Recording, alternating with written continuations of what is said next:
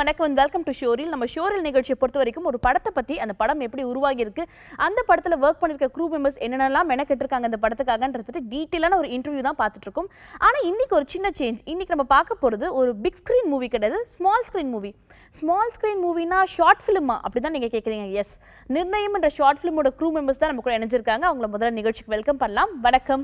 வணக்கம்.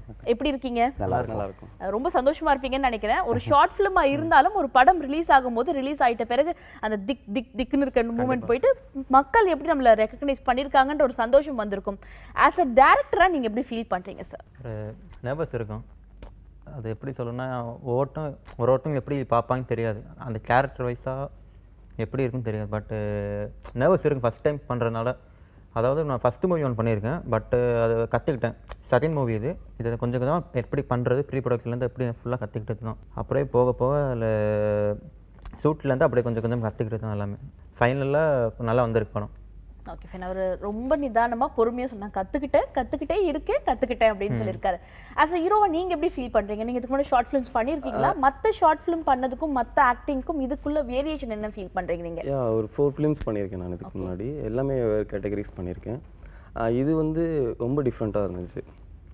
ஆக்சுவலாக டைரக்டராகவே அவரோட பொசிஷனே எனக்கு கொடுத்து அதை ஒரு ரோலாக கொடுத்து பண்ண சொல்லியிருக்கிறது ரொம்ப டிஃப்ரெண்ட்டாக இருந்துச்சு. ஒவ்வொரு கேட்டகரியாக பண்ணும்போது ஒவ்வொரு ரோல் எனக்கு வரப்போ இது ரொம்ப டிஃப்ரெண்ட்டாக இருந்துச்சு. ஸோ பண்ணியிருக்கோம். இனிமேல் எப்படி ரிவ்யூ வரும் அப்படின்றது அவங்க கையில் தான் இருக்குது ஓகே ஒரு ஆக்டர் டேரக்டரா ஒர்க் பண்ணிருக்கீங்க அப்படின்றது தெளிவா சொல்லியிருக்கீங்க. அண்ட் தென் உங்க கெட்டப்பை பார்க்கும்போது பயங்கர ரகடா பெரிய ரவுடியா இருப்பார் போல இருக்கேப்பா அப்படின்ற மாதிரி தான் இருக்கு. உங்களோட கேரக்டர் பத்தி சொல்லுங்க சார் நான் ஆக்சுவலாக ஒரு ஆன்டாகனிஸ்ட் ரோல் பண்ணியிருக்கேன் இதில்.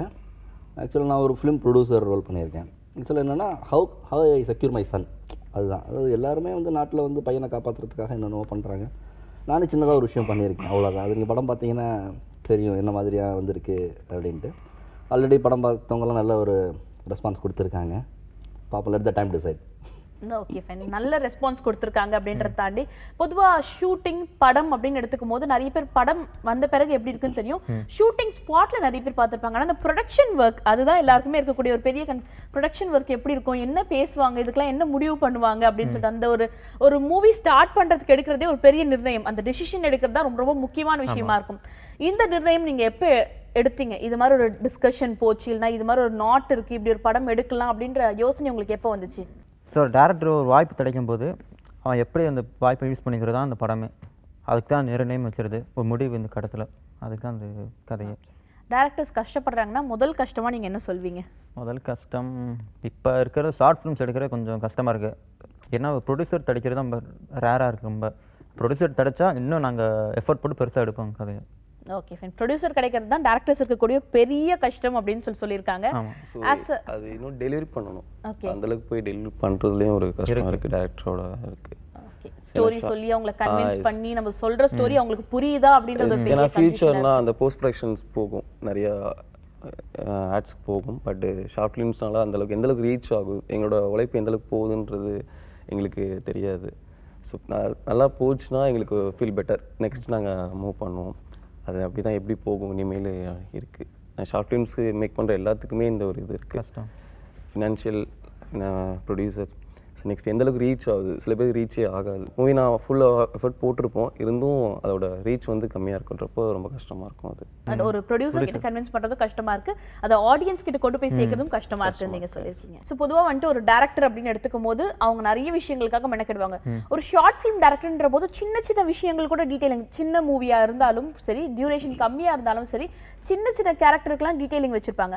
அப்படி இந்த ரெண்டு கேரக்டருக்கும் நீங்கள் கொடுத்துருக்க வேரியேஷன் என்னவா இருக்கு? ஆஸ் அ டேரக்டரா என்ன மாதிரி டீட்டெயிலிங் கொடுத்துருக்கீங்க? அவன் ஒரு டேரக்டர் என்ன ஃபீலிங்கில் இருப்பான் அந்த ஆர்க்ஸ் நான் கொடுத்துருக்கேன். ஒரு ப்ரொடியூசர் என்ன ஃபீலிங்கில் இருப்பாரோ அந்த கேரக்டர் ஆர்க்ஸ் தான் கொடுத்துருக்கேன். சில பேர் பா ஆடியன்ஸ் பார்க்கும்போது என்ன இந்த டேரக்டர் இந்த ஃபீலிங்கில் இருக்கான்? சொல்லிட்டு கொடுக்கக்கூடாது என் ஃபீலிங்லாம் இருந்து நான் கொடுத்துருக்கேன். ப்ரொடியூசர் ஃபீல்லேருந்து நான் நான் பார்த்த வரையும் என் என் பார்த்த கண் பார்வையிலேருந்து நான் எழுதி வச்சுருக்கேன்.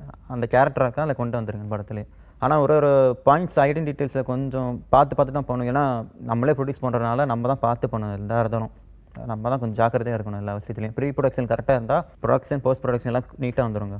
ஃபைனல் அவுட் நான் பொதுவாக ஒரு டேரக்டர் எக்ஸ்பிளைன் பண்ணும்போது வந்துட்டு ஒரு ஹீரோனா இப்படி இருக்கணும்னு சொல்லிட்டு. ஆனால் அவரோட கேரக்டர் அதாவது அவர் டேரக்டராக இருக்காருன்னா அந்த கேரக்டர் தான் நீங்கள் பண்ணுறீங்கன்றப்போ அவரை நீங்க நிறைய இடத்துல இமிடேட் பண்ணி பண்ணிருக்கீங்களா? இல்ல நீங்க எப்படி பண்ணீங்க அதை பத்தி? ஆக்சுவலாக ஆல்ரெடி டேரக்டராகவே ஒர்க் பண்ணியிருக்கேன் பண்ணிருக்கீங்க, ஸோ டேரக்டர் ஃபீல் ஃபுல்ஃபில்லாக எனக்கு நல்லாவே தெரியும்.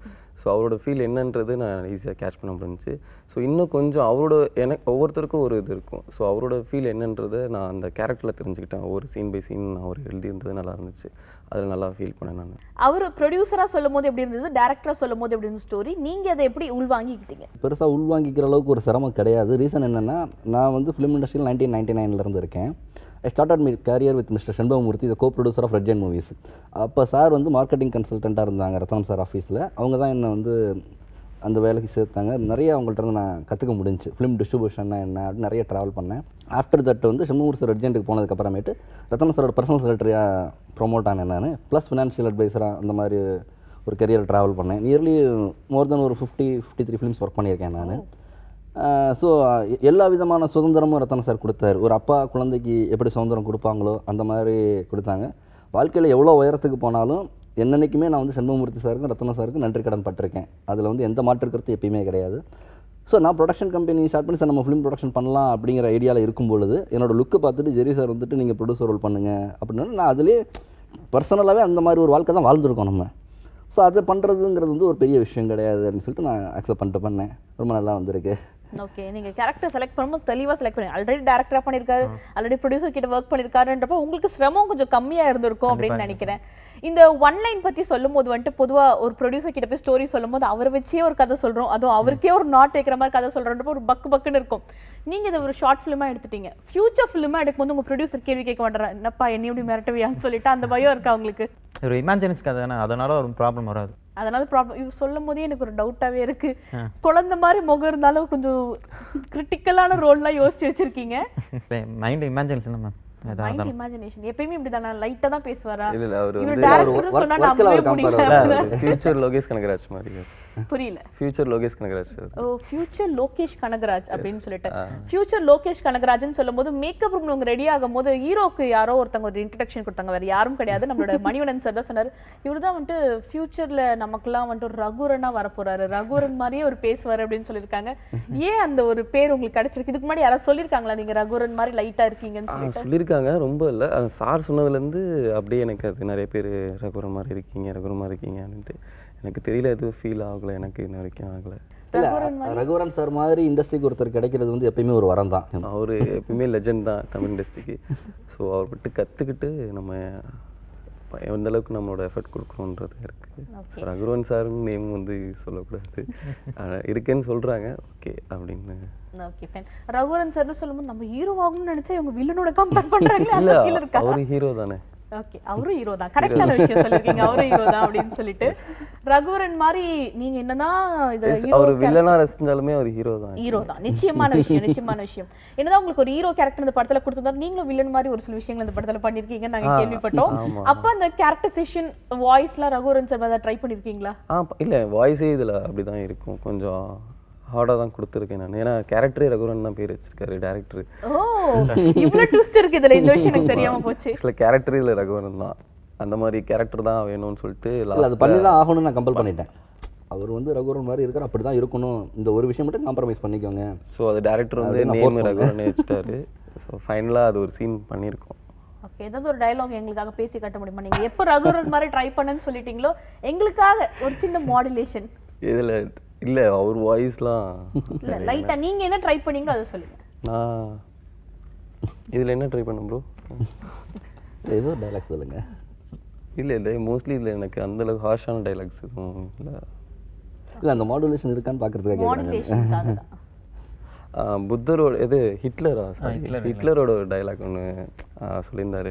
அடக்க முடியாத கோவத்தை கட்டி வை காலம் முன்னிடம் வரும்போது விட்டு வைக்காத அப்படின்னு சொல்லிட்டு ஒரு டைலாக் ஒன்று அதை விட்டு ஹாஷா அது நான் சொல்லியிருப்பேன். அது அது ரொம்ப வாய்ஸ் எடுத்தோம். த்ரோட் ரொம்ப இது இன்ஃபெக்ஷன் ஆகும்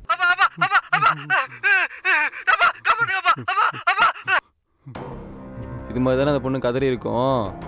அதான் ஹிட்லர் ஒன்று சொல்லியிருப்பாரு. அடக்க முடியாத கோவத்தை கட்டி வை காலம் முன்னிடம் வரும்போது விட்டு வைக்காதன்னு.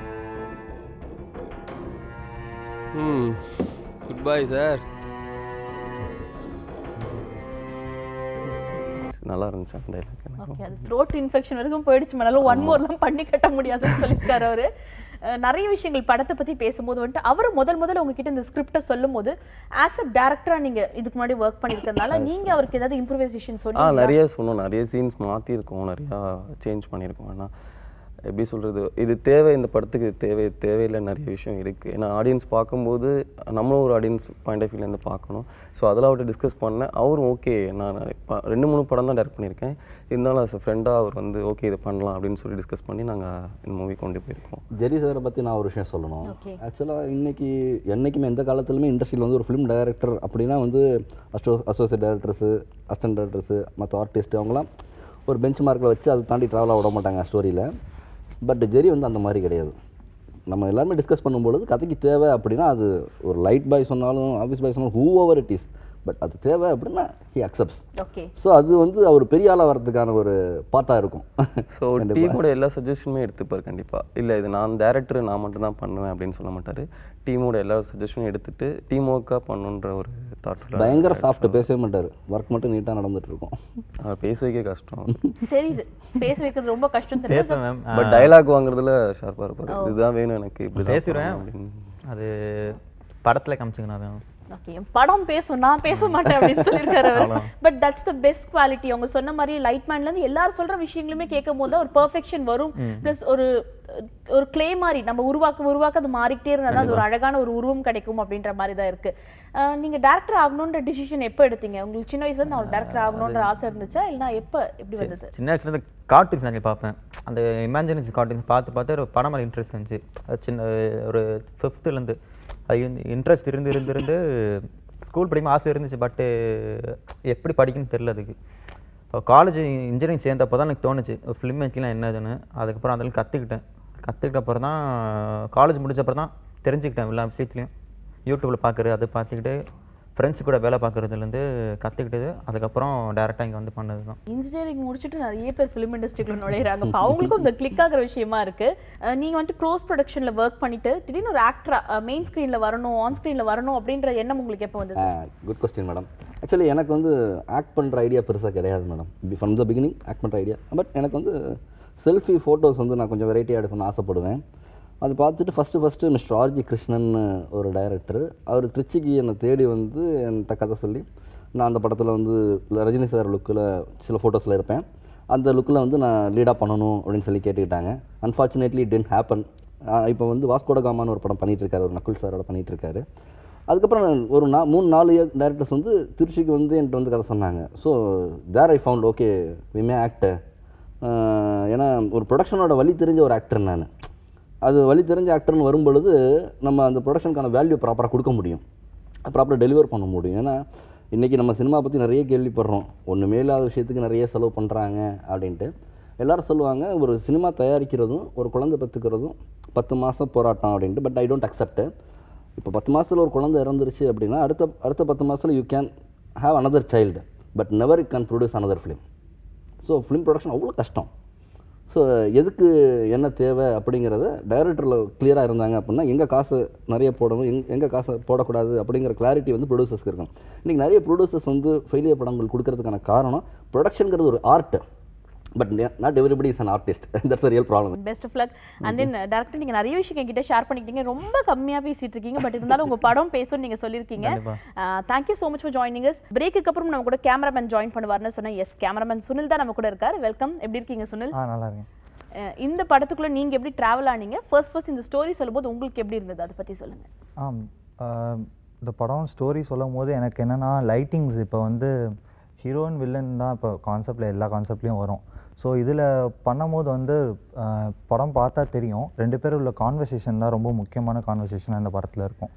ஸோ அந்த கான்வர்சேஷன் எனக்கு வந்து லைட்டிங்கில் வந்து நான் வெளியே சொல்லணும் அப்படின்றதுனால வில்லனுக்கு ஒரு கலரு ஹீரோக்கு ஒரு கலரும் வந்து அந்த டோனில் வந்து நம்ம சொல்லும் போது வந்து விஷுவலாக நம்மளுக்கு வந்து ஆடியன்ஸ் பார்க்கும்போது வந்து அந்த டோன் பார்க்கும்போதே இவன் என்ன கேரக்டர்ன்றது தெரியணுன்றது தான் என்னோட ஐடியாவாக இருந்தது. ஸோ படம் ஃபுல்லாக அந்த டோனில் தான் நான் போயிருப்பேன் நான். ஓகே ரெண்டு கேரக்டர்ஸ்க்கும் வேற வேற டோன்ஸ் யூஸ் ஆமாம் ஆமாம் ஆமாம் ஓகே அண்ட் தென் பிரேக்குக்கு முன்னாடி வந்துட்டு எல்லாரும் இண்டஸ்ட்ரிக்குள்ள எப்படி வந்தாங்க? அந்த ஒரு நாட் எப்படி வந்தது? அப்படின்றத பத்தி பேசிட்டு இருந்தோம். நீங்க இண்டஸ்ட்ரிக்குள்ள வந்ததுக்கான ஏதாவது ஸ்டோரி இருக்கா? இருக்கு. நான் முகாம்பி இன்ஜினியரிங் காலேஜில் தான் புதுக்கோட்டை கீரனூரில் படித்தது ஜிவிஎம் சார் படிச்சு கௌதம் வாஸ்தன் சார் படித்தது சில்வர் ஜூப்ளிக்கு வந்திருந்தார். அப்படியே பார்த்தேன் ஹீரோ அப்படியே பார்த்து ஃபிக்ஸ் பண்ணிட்டேன். ஸோ எப்படி இருந்தாலும் படித்து எனக்கு செட் ஆகலை. ஸோ அந்த சினிமேட்டிக் ஃபோட்டோகிராஃபி இன்ட்ரெஸ்ட்டு ஸோ அதனால் ஜிஎம் சார் பார்த்ததுலேருந்து ஜிஎம் சாரோட இதில் அவரை ஹீரோவை பார்த்தோம். அப்படியே அதில் இருந்தோம். ஸோ நெக்ஸ்ட்டு சென்னை வந்தோம். சென்னையில் டிஎஸ்எல் ஸ்டுடியோவில் ஒர்க் பண்ணோம். என் நான் இன்ஸ்பைர் கற்றுக்கிட்ட என்னோட அண்ணன் இருக்காங்க என்னோட சீனியர் எல்லாமே இருக்காங்க. வெற்றி அண்ணா பிரபு. ஸோ இவங்களாம் எனக்கு நிறைய கற்றுக் கொடுத்தாங்க. பாண்டி அண்ணா நக்கல் லோகேஷ் இவங்களாம் நிறைய எனக்கு இண்டஸ்ட்ரியில் என்னென்ன எப்படி இருக்குது எப்படி நீ ஜேர்னி பண்ணணும் எப்படி பேசணும் ஒரு இடத்துல ஸோ எந்த இடத்துல பேசக்கூடாது? ஸோ இதெல்லாம் நிறையாவே எனக்கு எங்களோட சீனியர்ஸ் நிறைய பேர் சொல்லி கொடுத்தாங்க. ஓகே இன்ஜினியரா இருந்துட்டு விஸ்காம் படி விஸ்காம் படிச்சவங்க நிறைய பேர். இண்டஸ்ட்ரிக்குள்ள வரதோட இன்ஜினியரிங் முடிச்சுட்டு. வரவங்க தான் அதிகமா என்னோட மெயின் இப்போ இப்போ என்னை என்னை கொண்டு போகிறது சுரேஷ் அண்ணா. அவர் தான் எப்படி இருக்கணும்? ஸோ அவரு ட்ரீம் வந்து ஃபில்ஃபில் பண்ண முடியல. ஸோ நீங்கள் அதை ஃபில்ஃபில் பண்ணீங்கன்னா ஐ ஃபீல் பெட்டர் நான் அதை பார்த்து சந்தோஷப்பட்டுக்கிறேன் அப்படின்னு ஒரு மனுஷன் எங்களுக்காக சப்போர்ட் பண்ணிட்டு இருக்காரு.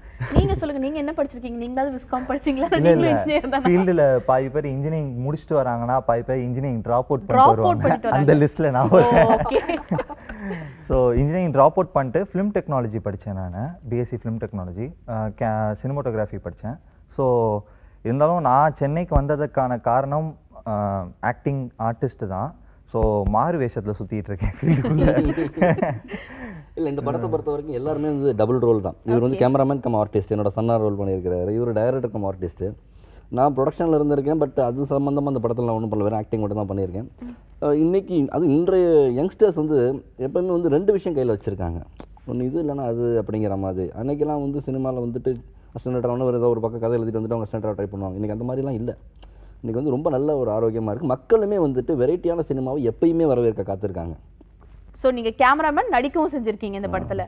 அஹ் எ- எல்லார்கிட்டயும் முக்கியமா கேட்க வேண்டிய விஷயம் டேரக்டர் சுத்தமா பேசவே இல்லை. எது கேட்டாலும் லைட்டா பேசினார். அட்லீஸ்ட் உங்ககிட்டயாவது கதை சொல்லும் போதும் டிஸ்கஷன் போகும்போது நிறைய பேசினாரா? இல்லை அவர் பேசுறதே அப்படிதான் இருக்கும். கம்மியாக தான் பேசுவார். ஸ்கிரிப்ட் பேப்பர் கொடுத்துருவாரு. அதான் ஸ்கிரிப்ட் பேப்பர் கொடுத்துருவாரு. ஸ்கிரிப்ட். பேப்பர் படிச்சுட்டு நாங்கள் அதை எனி டவுட் டவுட்னா டவுட் சொல்லுவோம். வாய்ஸ் மெசேஜ் தான் பண்ணுவார். ஓகே இதுதான் பேச மாட்டார் வாய்ஸ் மெசேஜ் வாய்ஸ் மெசேஜ் அப்படின்னா வாய்ஸ் மெசேஜ்ல அவர் பேசுறத நம்ம கேட்கலாம். மற்றபடி பேசவே மாட்டாருன்றது தெரியுது. இது தாண்டி படம் ரிலீஸ் ஆயிடுச்சு நல்லபடியா போயிட்டு இருக்கு உங்களோட ஃபியூச்சர் ப்ராஜெக்ட்ஸ் ஏதாவது இருக்கா? அதை பத்தி சொல்லுங்க. ஃபியூச்சர்ல ஏதாவது கமிட் ஆயிருக்கீங்களா ப்ராஜெக்ட்ஸ் இல்லை இனிமேல் கமிட் ஆகல. இனிமேல் ஸோ நெக்ஸ்ட்டு ஒரு பைலட் மூவி பிளான் பண்ணிக்கிட்டு இருக்கோம். ஸோ நெக்ஸ்ட் இயர் அது பண்ணிடுச்சுன்னா நெக்ஸ்ட் அவ்வளோதான் ஸோ எங்கள் டார்கெட் டீமுக்கு டார்கெட் வச்சுருக்கோம். ஷார்ட் ஃபிலிம்ஸ் முடிச்சிட்டோம். நெக்ஸ்ட் ஒரு பைலட் மூவி முடிச்சுட்டு ஃபியூச்சர் அடி எடுத்து வைக்கலான்னு தான் இருக்கோம். ஓகே ஃபைன் உங்களோட ஃபியூச்சர் ப்ராஜெக்ட்ஸ் ஒரு ஓல்டு ரஜினி சார் லுக்கில் ஒரு படத்தில் ஒரு நல்ல ஒரு பவர்ஃபுல்லான ஒரு கேரக்டர் பண்ணுறேன் ப்ளஸ் ஒரு ஹிந்தி மூவி ஒன்று கேரக்டர் ரோல் கமிட் ஆகிருக்கு பார்ப்போம் ஓகே ஃபைன் நீங்க சார் ஆ இப்போ நான் சைமன்டன்ஸாக ரெண்டு வெப் சீரிஸ் பண்ணிட்டு இருக்கேன். நடிக்கிறேன். வெப் சீரிஸ்ல நடிக்கிறீங்க. ஓகே ஸோ சைமன்டன்ஸாக இப்போதைக்கு அந்த ப்ராஜெக்ட்ஸ் போயிட்டுருக்கு ரெண்டு வெப் சீரிஸு அதுக்கடுத்து நம்ம டேரக்டர் வந்து அடுத்த படங்கள் ரெடி பண்ணிட்டு இருக்காங்க. ப்ரீ ப்ரொடக்ஷன் ஒர்க் போயிட்டுருக்கு ரெண்டு மூணு ப்ராஜெக்ட்டு அது அடுத்தடுத்து அந்த ஸோ ஹெவியாக போயிட்டுருக்கு ஹெவியா போயிட்டு இருக்கு ப்ரீ ப்ரொடக்ஷன் அட்லீஸ்ட் அந்த படத்துக்கு வரும்போது அது உங்க டேரக்டர் பேசணுன்றது என்னோட வேண்டுகோளா நான் வச்சுக்கிறேன். இல்லை அவர் இந்த ஷோ நானும் சொல்லி அவர் எங்கள்கிட்டே பேசணும் கதையை பற்றி சொல்லணும். ஏன்னா இந்த டைமும் பேப்பரை. கொடுத்துட்டு போயிட்டா யார் சொல்றது டேரக்ட் சொல்லணும்ல. ஸோ அவர் எங்கள்கிட்ட வந்து பெரிய டேரக்டர் நிறைய படங்கள் எடுத்த பிறகுதான் ரொம்ப கம்மியா பேசுவாங்க.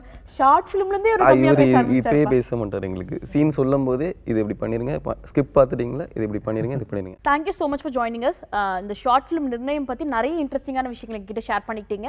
இதே போல உங்களோட ஃபியூச்சர் ஃபிலிம்ல நீங்க ஒர்க் பண்ணும்போதும் அந்த படங்கள் வெற்றிகரமா அமையறதுக்கு எங்களோட வாழ்த்துக்களை தெரிவிச்சுக்கிறோம். நன்றி. நன்றி. தேங்க்யூ நிர்ணயம் ஷார்ட் ஃபிலிமை பற்றி நிறைய இன்ட்ரெஸ்டிங்கான விஷயங்கள் நம்ம கிட்ட பகிர்ந்துக்கிட்டாங்க. நிச்சயம் இந்த ஷார்ட் ஃபிலிமை பார்த்துட்டு உங்களோட கருத்துக்களை தெரிவிங்க. இதே போல வேற ஒரு இன்ட்ரெஸ்டிங்கான ஷோல உங்களை சந்திக்கிறேன். Until then this is me Krithika telling bye from you all.